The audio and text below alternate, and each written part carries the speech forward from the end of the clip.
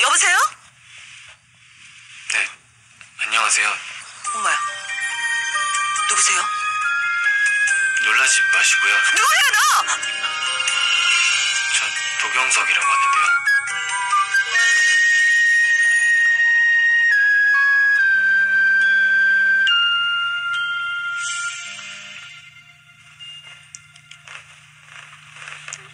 안녕하세요.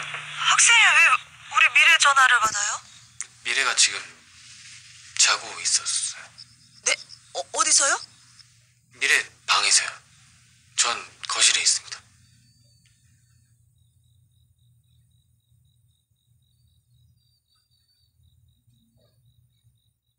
아니 왜 거기 있어요?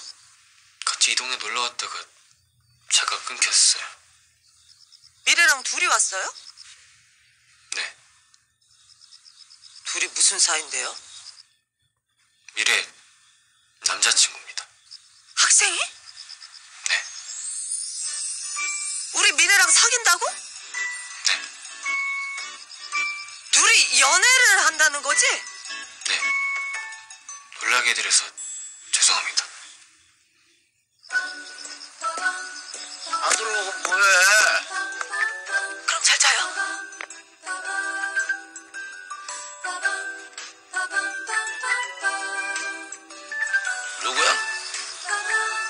남자친구.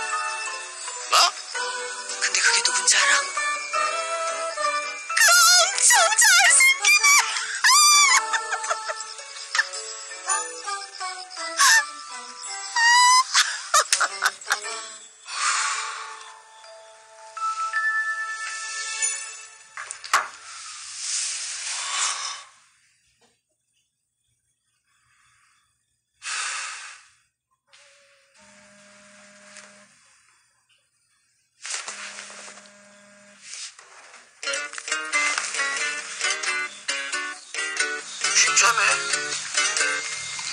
안녕하십니까? 우리 미래랑 사귄다고? 예. 내가 하나만 얘기할게요. 우리 집에 CCTV 있다? 전부 다 찍히고 있다고. 그럼 이만.